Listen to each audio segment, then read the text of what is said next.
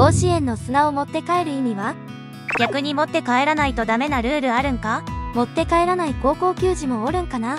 オルで。1、2年とかで来年も午後に来るという決意の表れや、ガーデニングに使った選手おったで。大谷とかダルビッシュと田中の汗が染み込んだ土やからな。貴重なんや、甲子園の土ってどこの土や？黒土の産地岡山県日本原三重県鈴鹿市鹿児島県鹿屋大分県大野郡三重町鳥取県大山などの土をブレンドしている毎年決まっているわけではないんやでブレンド配合で甲子園の土になるんやが、かといって持って帰らないと周りからネチネチ言われそう。観光で来ても買えそう。春は持って帰ってるやつおらんよな。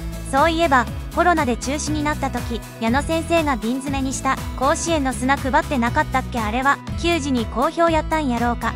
ちょっと前まで 20kg3000 円くらいで通販してくれてたんだよなあまりにも売れすぎて最小ロットが 800kg になった砂に切っておったよな。まだ生きてるんやろか。もしドーム開催になったら代わりに何を持って帰れば永遠や芝を剥がしてもええか？